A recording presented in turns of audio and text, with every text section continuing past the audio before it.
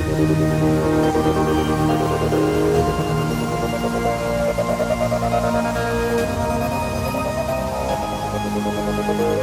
guys, what's up? Welcome back to Cooper Stuff. This is a sort of sword and shield episode about zeal for the Lord. What is zeal for the Lord? What does that actually mean?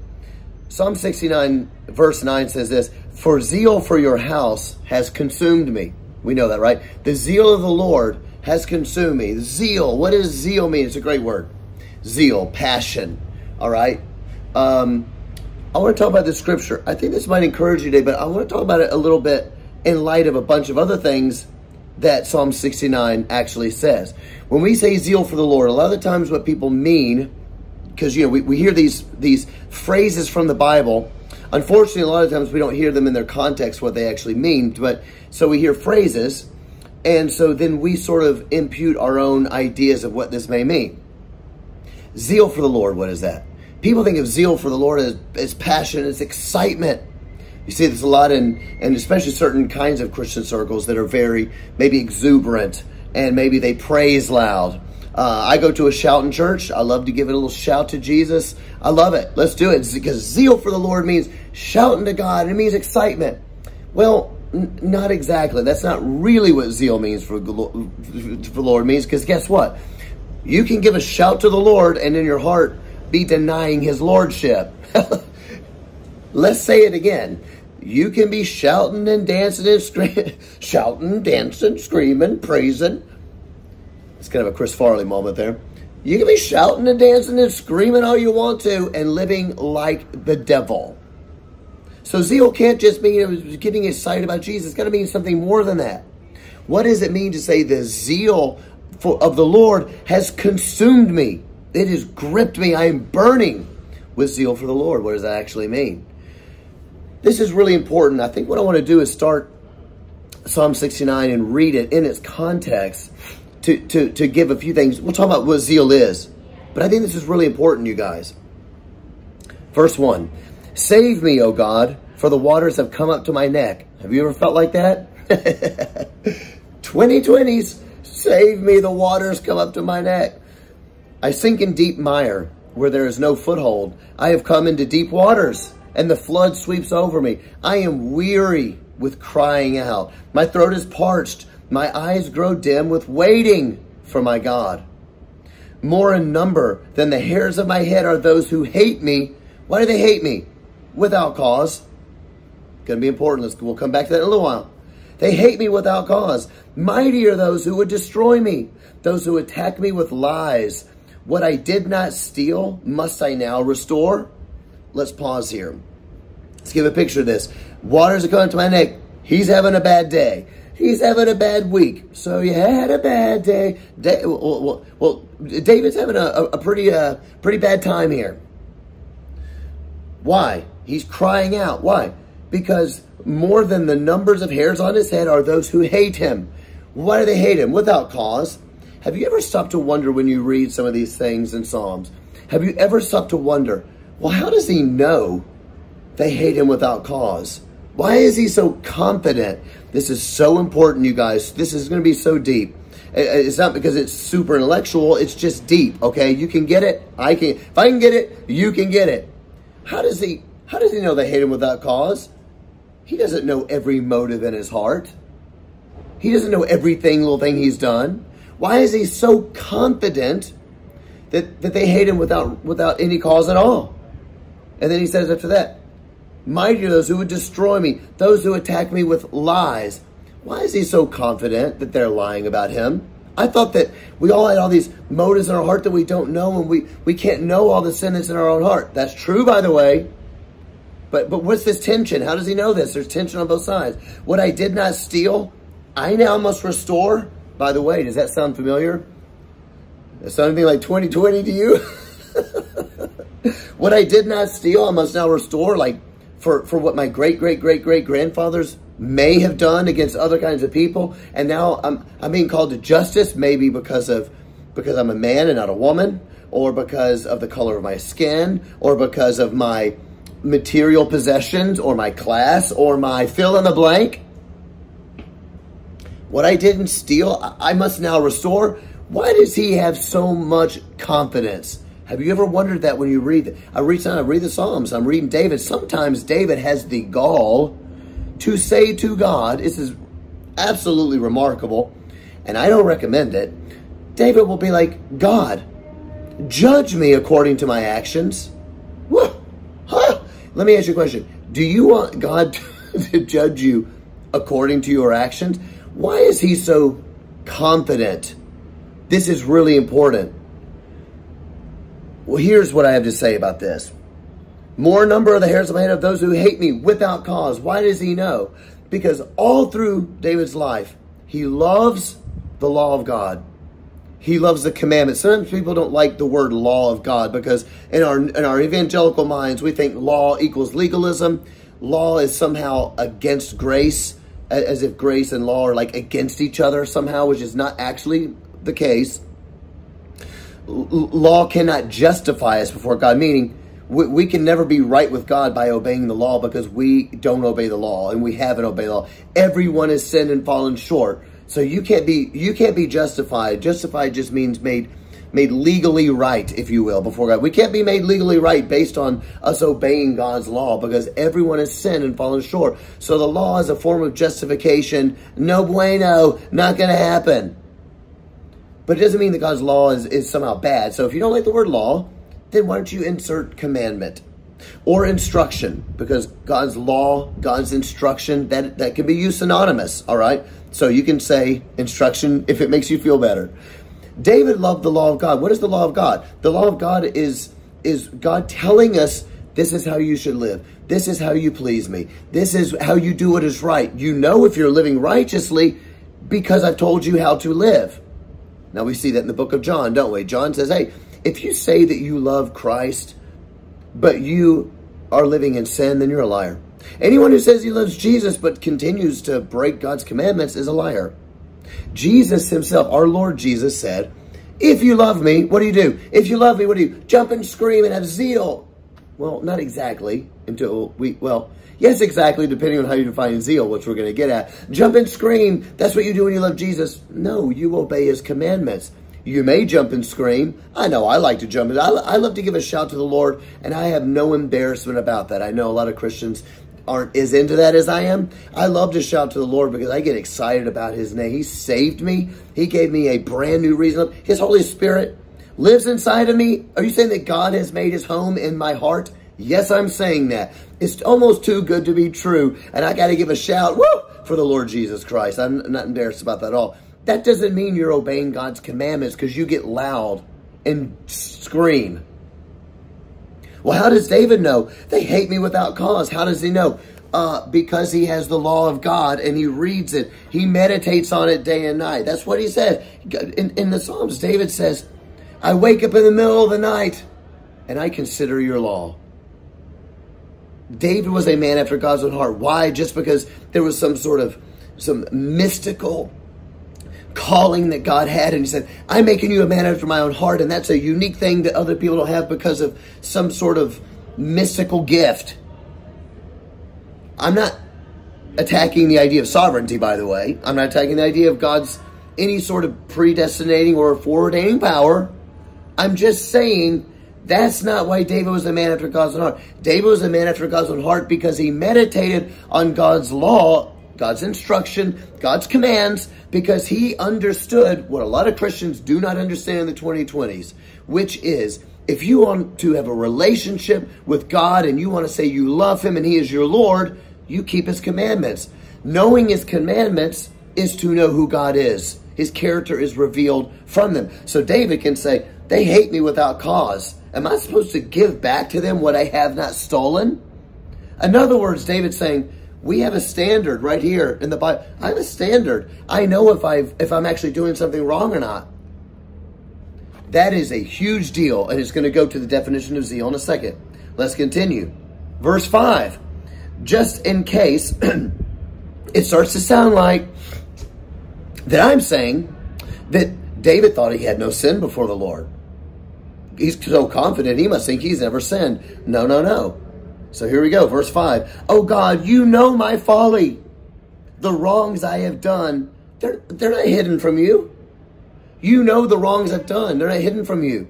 This is so important because we hear in church a lot these days that that we don't know the sin that's in our hearts. So um, we we should always be aware that we might not know it, but we are falling short constantly. This is true. We should echo, God, you know my folly. The wrongs I have done are not hidden from you.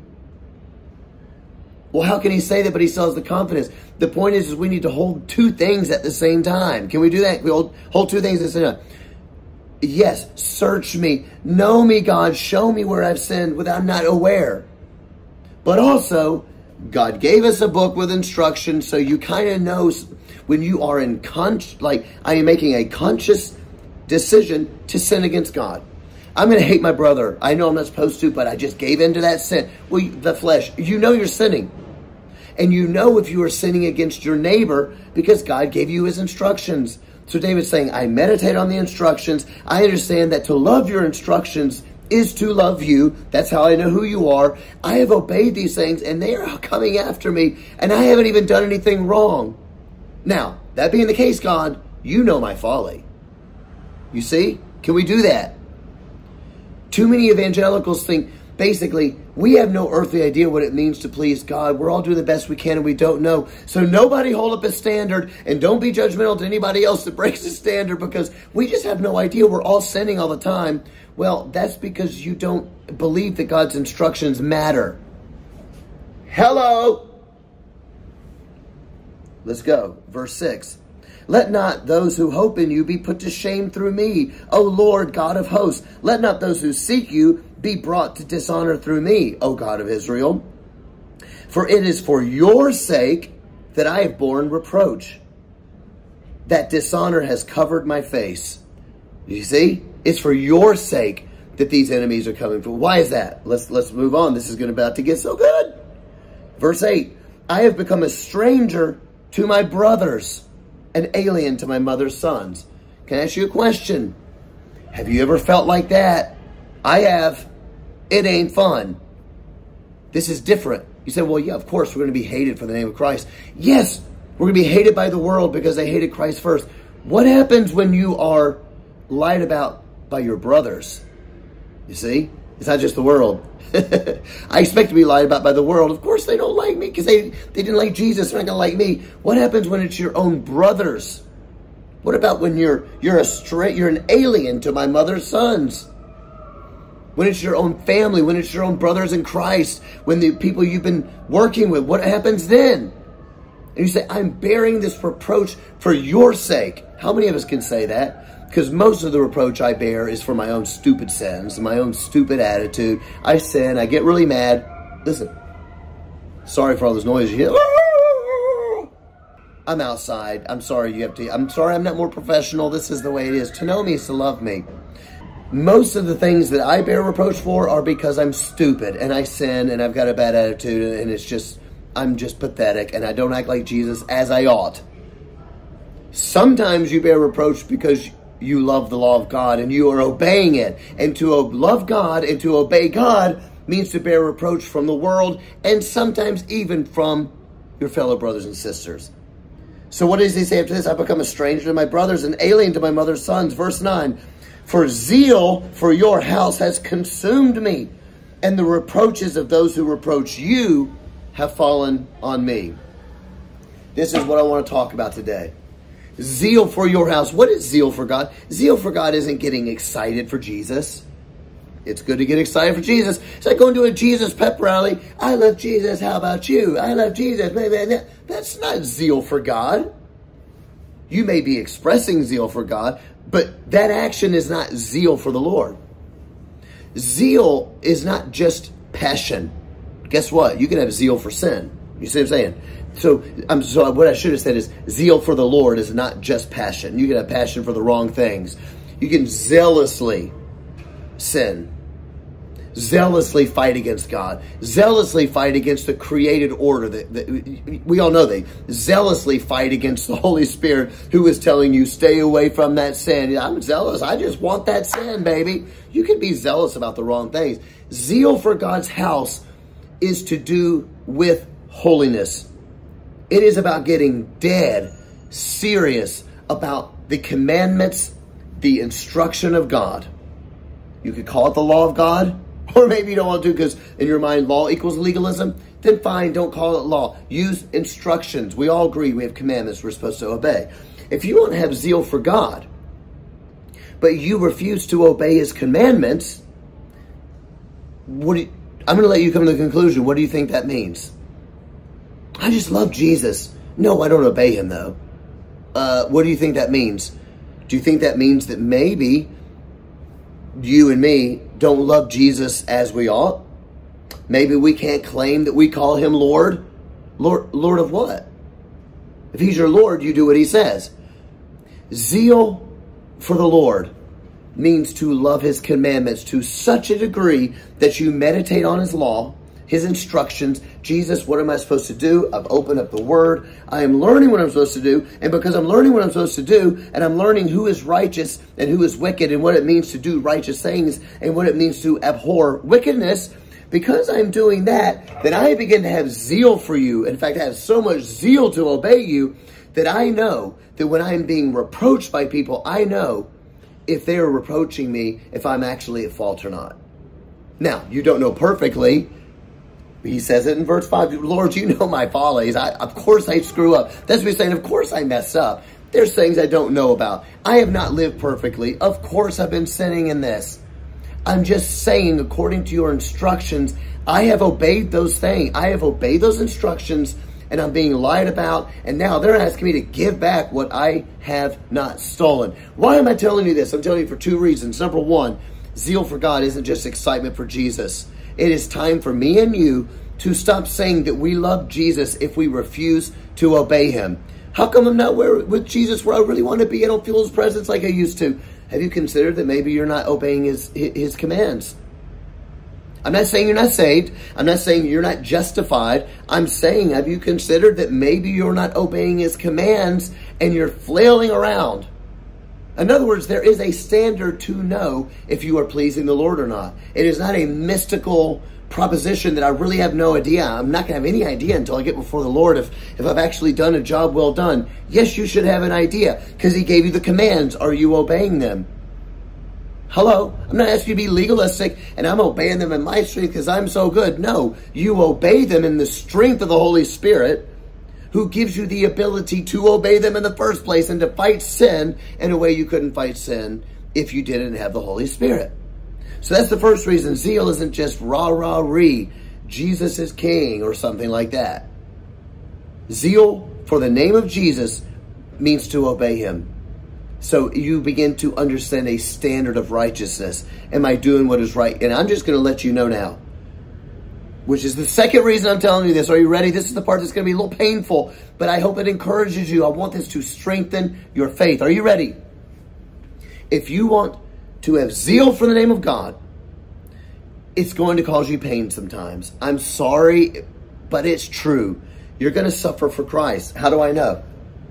For zeal for your house has consumed me, and the reproaches of those who reproach you have fallen on me. Even from brothers sometimes. Eh, that's hard to hear, isn't it? If you want to have zeal for the name of Jesus, it's going to make some people mad. And not just people in the world. That's part of what it means to partake of his sufferings. Would you agree? Is that partaking of the sufferings of Christ to say that the people that reproach you, it's fallen on me? Why? I haven't done anything wrong. I've obeyed you. And, and, and guess what? If you've obeyed the commandments of God, that actually means you have succeeded in loving your neighbor. So that's why he says, they hate me without any reason. They have no justification to hate me. How does he know that? How is he so confident in that? Because loving your neighbor, Jesus, or excuse me, the New Testament says, loving your neighbor is basically the summation of the law and the prophets in the Old Testament. That's basically what it means. That is how you love your neighbor. It is not a mystical, subjective proposition. There is actually a standard to know if you're loving your neighbor. So if you're obeying God's instructions, you are loving your neighbor. And if your neighbor hates you, well, then that's not actually fair. Why is that happening? Because I love the law of God. And because I love the law of God and I had zeal to make it happen, the, those who approached Christ their reproaches have now fallen on me.